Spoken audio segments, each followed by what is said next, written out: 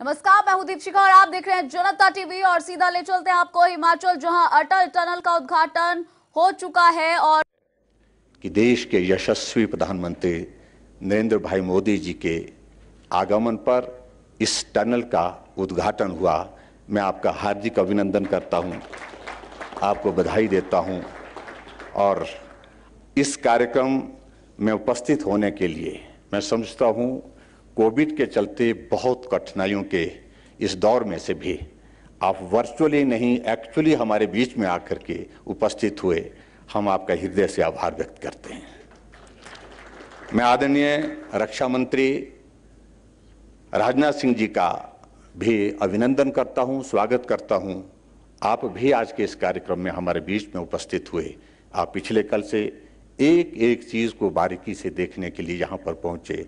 और आज के इस कार्यक्रम में हमारे बीच में सेना के मनोबल को और हिमाचल प्रदेश के सभी भाई बहनों को अपनी शुभकामनाएँ देने के लिए पहुँचे, आपका भी मैं हृदय से आभार व्यक्त करता हूँ। हमारे पास कहने के लिए शब्द नहीं, देवभूमि हिमाचल प्रदेश।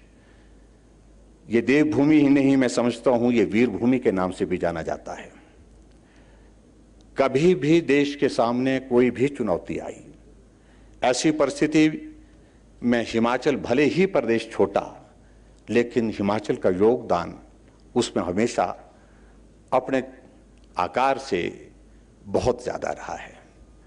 कारगिल का युद्ध हुआ। अगर उसमें चार परमवीर चक्कर अगर पूरे देश को मिले, उसमें से दो परमवीर चक्कर हिमाचल प्रदेश के उन वीर सपूतों को मिले। और उस किसी भी योगदान में हिमाचल पीछे नहीं रहा। और आज ये टनल जब मैं समझता हूँ कि एक बहुत बड़ी बाधा लाहौल के लोगों के लिए रहती थी। चार महीने के लिए आना जाना बंद हो जाता था। कोई बीमार हो जाता था। हमें कहा जाता है कि हेलीकॉप्टर भेजो।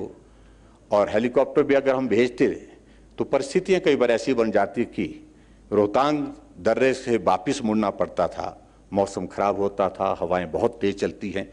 ऐसी परिस्थिति में बहुत कठिनाई के दौर में से जब लाहौल के लोगों को गुजरना पड़ता था, वो भी बहुत सरल हो गया।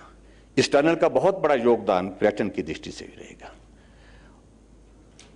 पर्यटन के लिए हमने टनल टूरिज़्म को आपस में जोड़ने का एक कार्यक्रम बनाया है बृहद कार्यक्रम बनाया है।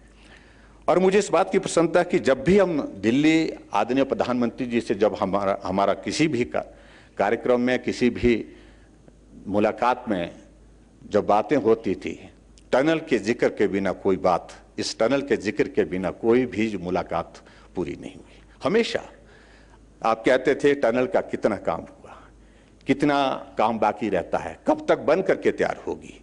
इन सारी बातों को लेकर के टनल के साथ टूरिज़्म को जोड़ना ये सारी बातें आपने मार्गदर्शन के रूप में हमको दी। हमने सर इसको, जो साउथ पोर्टल है, यहाँ पर भी टूरिज़्म डेस्टिनेशन डेवलप करने के लिए प्लान किया है। उसकी उसको हम आपसे एक्सप्लेन करेंगे। और उसके बाद, जो साउथ पोर्टल के बाद जो हमारा नॉर्थ पोर्टल है, जो लाहौल में पड़ता है तो उसको भी हमने टूरिज़्म के साथ जोड़ने के लिए प्लान किया है।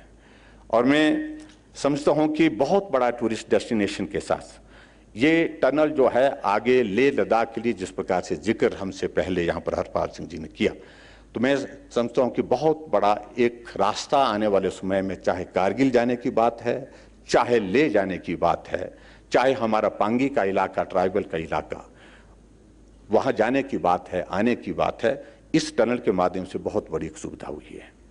मैं आज के इस कार्यक्रम में बहुत लंबी बात नहीं कहता हूँ, सिर्फ़ इतना मैं कहना चाहता हूँ यह टनल दस हज़ार चालीस फीट की हाइट पर बनने के पश्चात हिमाचल इस छोटे से प्रदेश को आपने राष्ट्रीय नहीं, पूरे विश्व में एक अलग पहचान दी है।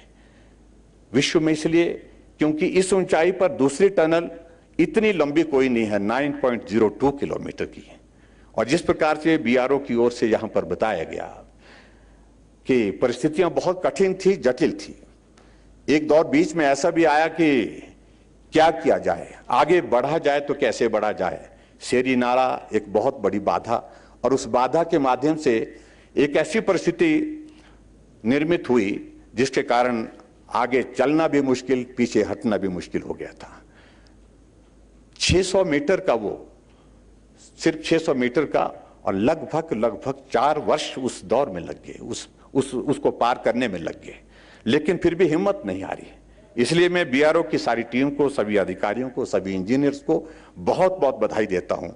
उनने हौसला नहीं छोड़ा और जिस प्रकार से बेहतरीन मैं समझता हूँ कि दुनिया भर में बेहतरीन इंजीनियरिंग का एक मिसाल जो है यहाँ पर जो प्रस्तुत की, उसके लिए मैं बहुत बहुत बधाई देता हूँ।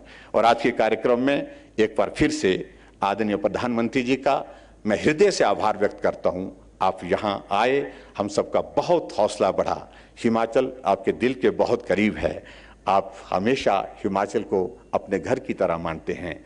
अटल जी भी कहते थे और आप भी उसी प्रकार से अपनी भावनाओं को हमारे साथ जोड़े हुए हैं और ये हमारे लिए बहुत बड़ी प्रसन्नता की बात है। आज के इस कार्यक्रम में हमारे रक्षा मंत्री राजनाथ सिंह जी आपने हिमाचल का कोई विधानसभा क्षेत्र नहीं छोड़ा है, जहाँ लगभग लगभग सभी विधानसभा क्षेत्र में किसी न किसी कार्यक्रम में आप प्रस्तुत हुए हैं, आप आए हैं, मिले हैं, लोगों से बातचीत किए हैं, सभाओं को संबोधित किया है। आप भी आज के इस कार्यक्रम में हमारे बीच में हम सबको हौसला देने के लिए, हम सबको शुभकामनाएँ, आशीर्वाद देने के लिए यहाँ उपस्थित हुए। आपका भी मैं हृदय से अभिनंदन करता हूँ। बहुत बहुत धन्यवाद। नमस्कार। जय हिंद।